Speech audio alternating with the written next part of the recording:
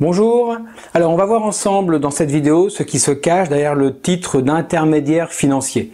Après une petite définition générale, on va voir ensemble la liste des intermédiaires classiques pour ensuite voir plus de détails sur deux principaux intermédiaires financiers pour les traders. Et puis on finira par quelques petits conseils et des renvois vers des vidéos qui sont vraiment super importantes.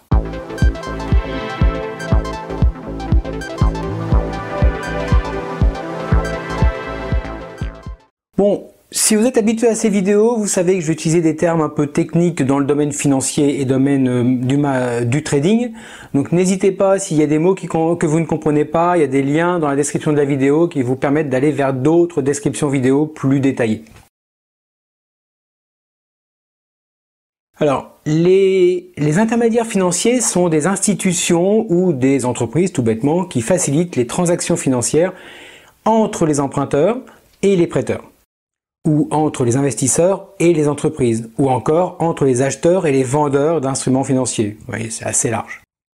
Donc il joue vraiment un, rôle crucial dans le système financier en mobilisant les ressources financières et, en facilitant la circulation des fonds.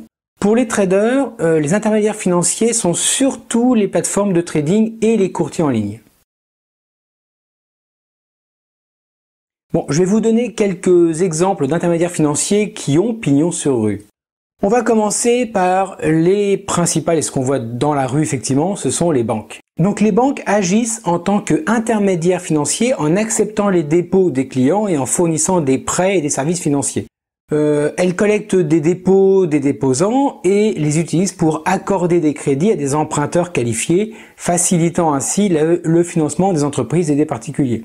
C'est ce que on vit tous les jours. Il y a aussi euh, les sociétés de courtage. Les sociétés de courtage financières facilitent l'achat et la vente d'instruments financiers tels que bah, les actions, les obligations, les options, les contrats à terme, euh, et puis il y en a d'autres. Voilà, donc elles agissent en tant qu'intermédiaires entre les investisseurs et les marchés financiers. Euh, ça permet ainsi aux investisseurs d'accéder aux opportunités d'investissement et de réaliser des transactions. Il y a aussi les sociétés d'investissement telles que les fonds communs de placement ou les fonds indiciels qui agissent en tant qu'intermédiaires euh, en regroupant des ressources financières des investisseurs individuels et en les investissant dans un portefeuille diversifié d'actifs tels que les actions, obligations, matières premières, etc. Il y a aussi les compagnies d'assurance qui jouent un rôle d'intermédiaire en fournissant des produits d'assurance aux assurés. Elle collecte les primes d'assurance des assurés et utilise ces fonds pour couvrir les risques et indemniser les assurés en cas de sinistre.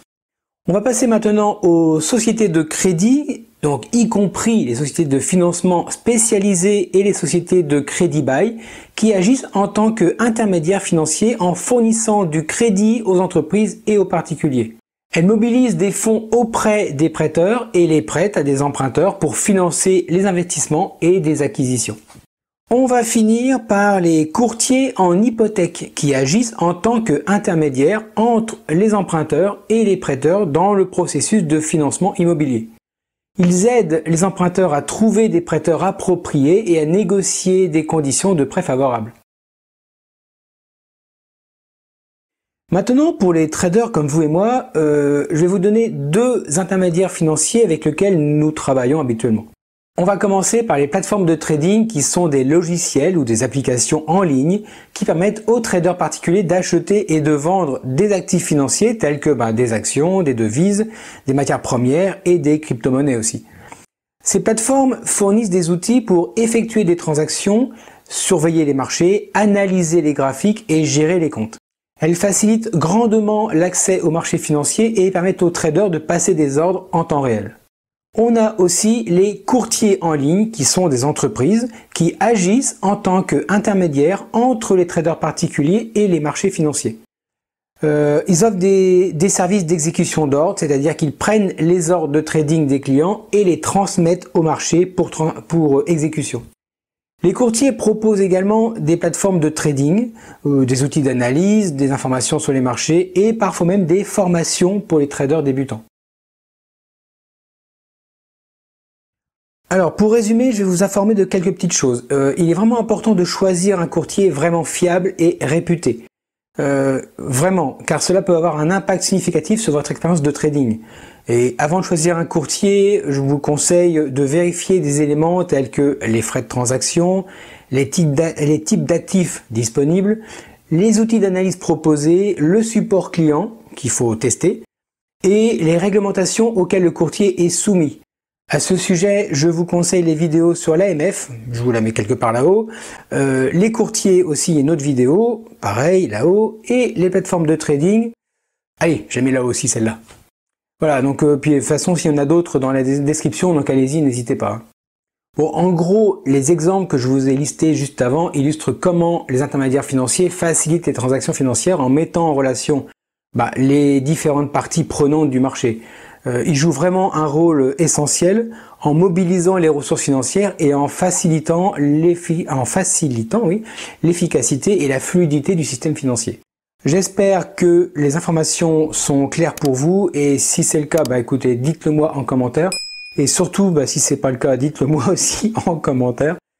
Et puis n'oubliez pas de partager cette vidéo, de liker la chaîne et tout ça, ça va aider l'algorithme YouTube. Et puis voilà, ça permettra d'avoir un peu plus de vues et puis que les gens s'intéressent aux autres vidéos que vous pouvez aller voir sur la chaîne.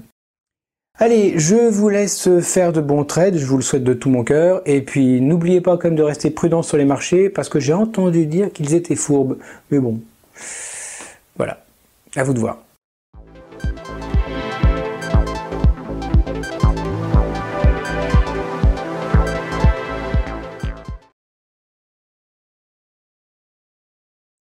On va commencer par les plates.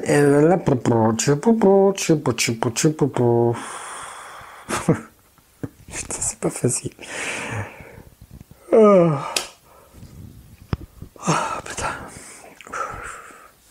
Ouvrons les yeux. Ouvrons les yeux. Il y a aussi les sociétés. Oh là On sent la fatigue. Putain